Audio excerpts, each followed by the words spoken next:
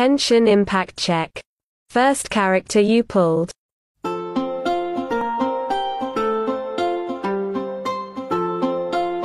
First 5-star character you pulled.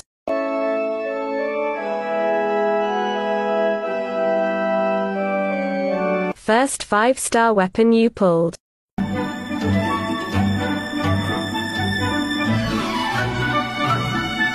Character you wish to have but don't have.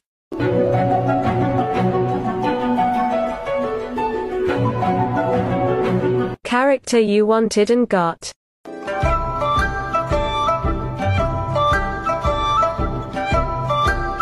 Character you have the highest constellation. And what constellation level it is.